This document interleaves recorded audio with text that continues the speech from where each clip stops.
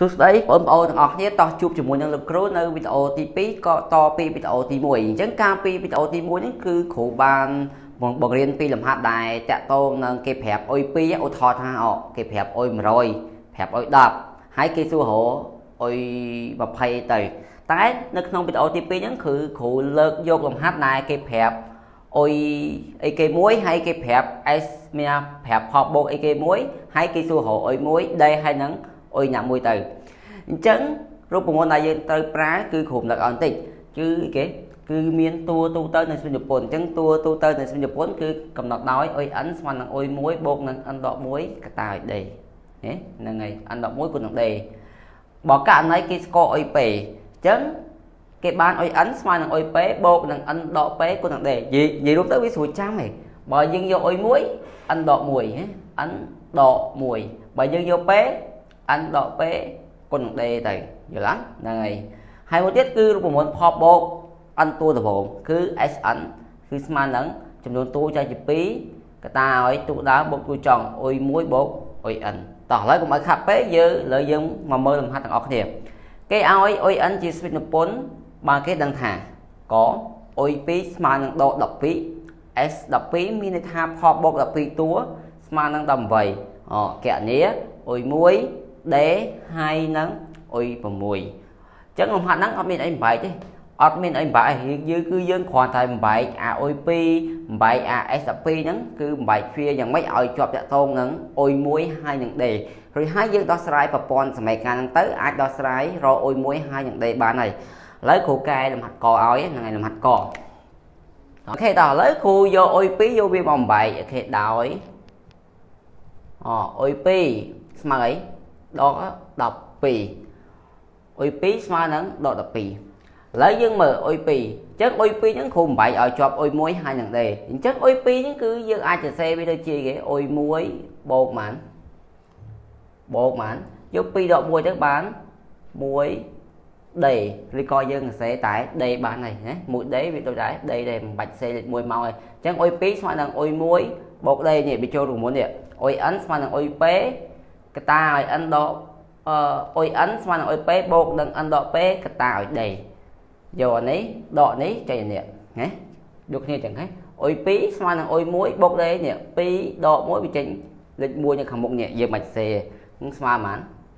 ស្មើនឹងដក12ឥឡូវយើងទុកសិនទុកដោយទំនាក់ទំនង1តោះមួយទៀត S12 ស្មើនឹងប៉ុន្មាន ស្មើនឹង10 8តោះឥឡូវគ្រូបំបែក S12 នេះឥឡូវយើងមើល SN ស្មើនឹង N លើ2គឺតាតាឲ្យអុយ1បូកអុយ N អញ្ចឹង S អញ្ចឹង S12 ស្មើអី S12 ស្មើនឹង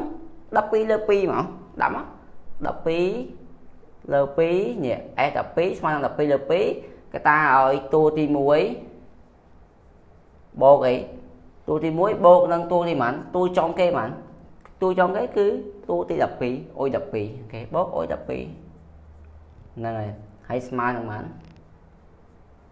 មាន18តោះ12ចែក2ប៉ុន្មាន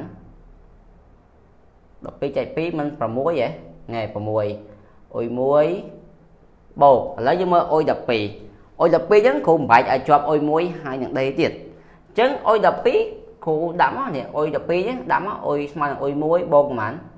នេះអញ្ចឹងយើងយក12ដក1មកឃើញប៉ុន្មាន11 11ដេស្មើប៉ុន្មាន15 3គ្រូយល់បងទៀតនេះអឺអុយ12អញ្ចឹងវាស្មើនេះអុយ12គឺស្មើនឹងអុយ1បូកនឹង 11D ហ៎និយាយចូលជាមួយនេះអុយ n ស្មើនឹងអុយ p បូកនឹង n ដក1គឺតាអុយ d អុយ12 យើងដាក់អុយ1មកហើយបូកហ្នឹងយក12ដក1មកចេញយក12ដក1មកវាចេញ11ហើយគុណនឹង d មកតោះឥឡូវយើងមើលនៅជាប់អាកតានេះគឺលេខ6គឺគុណគុណនឹង6ពេលអូនឯងបោះ6ទៅអង្គទី2វាមិនត្រូវចែកអញ្ចឹងគ្រូបោះ6ទៅអង្គទី2ទៅហើយគ្រូកាក់នេះនេះអុយ1បូកអុយ1ប្រហែល2អុយ1ហើយបូកនឹង11ដេស្មើនឹងប៉ុន្មាន បោះ6ទៅចែក18ចែកនឹង6បានប៉ុន្មានគឺបាន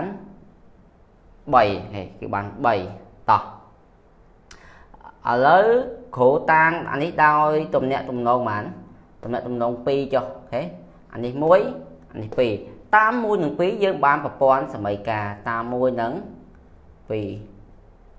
ខេតាម1និង2គ្រូបានប្រព័ន្ធសមីការណាអូខេគឺគ្រូសេឡើងវិញគឺ អុយ1បូកដេស្មើនឹងប៉ុន្មានដ12អសមីការ2 2អុយ1បូកប៉ុន្មាន 11D ស្មើនឹងប៉ុន្មានស្មើនឹង3ចវាគឺជាប្រព័ន្ធសមីការនេះ1នេះ2តោះឥឡូវយើងដោះស្រាយរអុយ1ហើយនឹង D លំហាត់ហ្នឹងគឺដូចយើងដោះស្រាយប្រព័ន្ធសមីការដែលមានអញ្ញត្តិ x និង y អញ្ចឹងអូខេ អញ្ចឹងដើម្បីដោះស្រាយប្រព័ន្ធសមីការអញ្ចឹងអញ្ចឹងតើតែយើងត្រូវគេត្រូវបំបត្តិអញ្ញត្តិណាមួយតើយើងគួរតែបំបត្តិអញ្ញត្តិណាដែលល្អឥឡូវយើងមើលមើលអុយមួយហើយនឹងដេកគួរតែបំបត្តិមួយណាបើគ្រូមើលទៅដូចជាបំបត្តិអុយមួយដោយសារអីដោយសារអុយមួយហ្នឹងមេគុណវាទូចទូចដល់ពេលអាដេហ្នឹងមេគុណវា11អញ្ចឹងមេគុណវាធំធំអញ្ចឹងគ្រូគ្រូបំបែកគ្រូគួរតែបំបត្តិអុយមួយចោលអញ្ចឹងដើម្បីបំបត្តិអុយមួយចោលតតែនៅខាងមុខអុយមួយហ្នឹងវា មេគុណសញ្ញាផ្ទុយគ្នាផ្ទុយគ្នាមានថាអាមួយដកអាមួយបូកឧទាហរណ៍ថាបើសិនជាឥឡូវដក2អាខាងក្រោមត្រូវ2ទៅតោះឥឡូវយើងមើលនេះនេះហ្មងនេះ2អានេះ1អូ1ហ្នឹងបើយើងគុណនឹងដក2ទៅវាបានប៉ុន្មានវាបានដក2ហើយអញ្ចឹងដក2វាផ្ទុយជាមួយនឹង2ហើយអូខេអញ្ចឹងអានេះគ្រូគុណនឹងដក2គុណនឹងដក2តោះអញ្ចឹងនាំឲ្យអោះ កាលណាយើងគុណស្វ័យការ1នឹងដក2គុណនឹងដក2គ្រប់តួអានេះគុណនឹងដក2ទៅបានប៉ុន្មានដក2អុយ1អានេះគុណនឹងដក2ទៅបានដក2ដេនេះគុណនឹងដក2ទៅបានប៉ុន្មាន24នេះដក2គុណនឹងដក12ដកប៉ះដកបូក12 2ដក24ហេអានេះនៅតែនៅតែមក3តោះ ហើយគ្រូបងវត្តដក2អុយ1បូក2អុយ1អស់លីងអានេះ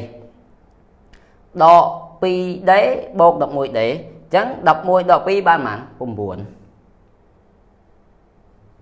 9 9D ស្មើប៉ុន្មាន24បូក3បាន27អូខេអញ្ចឹងគ្រូទាញរក D មក D ស្មើប៉ុន្មានយក27ចែកនឹង9មកឃើញប៉ុន្មានឃើញ 3អឃើញ D មួយហើយអញ្ចឹងយើងអាចរកអុយមួយបានហើយអុយមួយរកតាមណាអញ្ចឹងអុយមួយហ្នឹងយើងរកតាមសមីការមួយទៅអូខេអញ្ចឹងគ្រូសេតដល់នេះណាអូខេតោះតាមមួយគ្រូទាញរអុយមួយអញ្ចឹងដើម្បីទាញរអុយមួយគ្រូបោះដេទៅអង្គទី2អញ្ចឹងអុយមួយស្មើនឹងប៉ុន្មានគិតមើលទៅដក12ដកនឹងដេ បូកបោះទៅដកអីហេដកតោះជំនួសចូលមកដក12ដកប៉ុន្មានដេប៉ុន្មាន3អញ្ចឹងឃើញដក15 OK បាន2ហើយនៅ U6 មួយទៀតអញ្ចឹងដេឃើញ3 U1 ឃើញដក15តោះមួយទៀត U6 OK U6 OK U6 ហោះគ្រូបំបែកឲ្យចេញ U1 ទៅអញ្ចឹងគឺស្មើនឹង U1 បូកប៉ុន្មានយកយក6ដក1មកនេះបើយើងយកអុយពេយើងយក n ដកពេអញ្ចឹង6ដក1ចេញ5 5អី 5D តោះឥឡូវយើងយកអុយ1នឹង D មកជំនួសចូលឃើញអុយ6ឯងស្មើនឹងអុយ1ប៉ុន្មានដក15បូក5គុណនឹង D នេះ3អូខេអញ្ចឹងអានេះយើងគុណទៅឃើញបូក15 បូក15បូក15 0អញ្ចឹងអុយ6គឺស្មើ0ណាហើយស្មើ0ហើយចំពោះសំហាត់ទីខគឺដូចគ្នា គឺយើងបំបែកអុយ5ហើយបំបែក S 20មកហើយយើងដោះស្រាយប្រព័ន្ធសមីការហ្នឹងទៅចឹងលំហាត់ខងហ្នឹងគឺគ្រូទុកជា homework សម្រាប់អ្នកទាំងអស់គ្នាអញ្ចឹងវីដេអូលោកគ្រូគឺមានតែប៉ុណ្្នឹងទេសូមអរគុណច្រើនជម្រាបលា